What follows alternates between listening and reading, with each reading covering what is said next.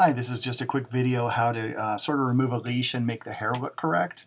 Uh, so what we've done is we start with uh, an image with a leash right here and we want to make sure we can retain all the hairs and make it look correct.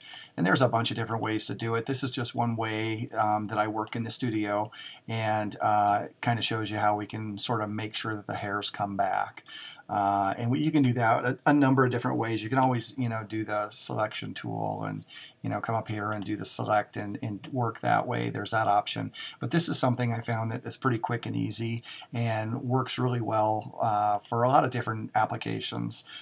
Um, let's go ahead and get started and I'll let you guys take a look. And it's just a different way to do things. Um, there are other ways to do it. So by no means is this the, the best way. It's just a way. And in some applications, it works really well for other things. So um, let's go ahead and get started. I'm going to actually go to my stamp tool, which is uh, keyboard shortcut S. And just hit that. And then I'm going to actually start just getting rid of the leash here. It's pretty easy to clone over that one on a white background. It's not real hard. Now, um, the problem is, is when we get up to hair, hair is always a bigger issue because it's so fine and there's all those little hairs going on. So what we're going to do is we're going to just kind of come in here and just keep doing that until it's pretty much gone. Um, which you know you can probably get away with that in most cases if you're doing an 8 by 10 but realistically I'd rather it be correct. So the way I'm going to do that is I'm going to actually um, duplicate the layer doing a command J just in case I get stuck here and want to revert back. I'm going to grab my lasso tool and the hair along here is pretty good where here you can see it's not and um, the trick of these these tips are not necessarily to get rid of a leash next time, but it hopefully will help you see um, be able to use this in other circumstances where it could work.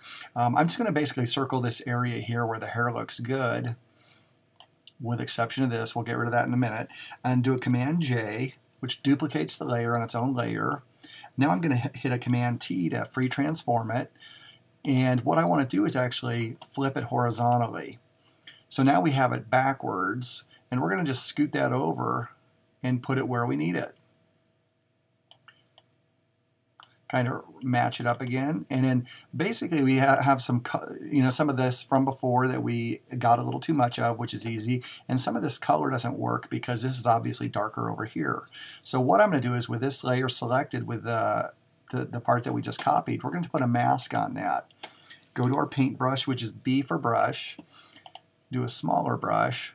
And I'm going to actually, um, I'm need to get on the correct brush here. I'm actually on the mixer brush.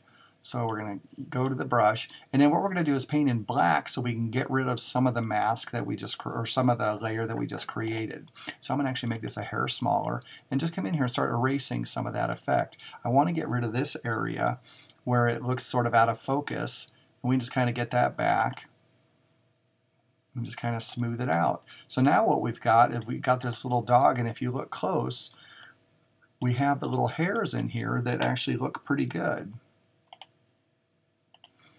And with the mask, we can go back in here and, and paint in and out. So I can just toggle back and forth with the X key for, for black and white, and we can kind of get rid of that extra area that came back.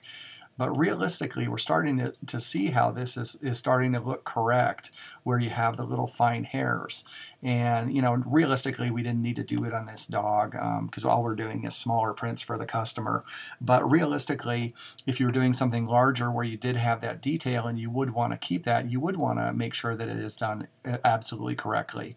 So, um, and that just is a quick and easy way to sort of get rid of a leash and bring the hair back and make it look fairly natural. So, I uh, hope you enjoyed it. If there's any comments, don't just jump in and throw a comment down if you like it. And thanks for watching.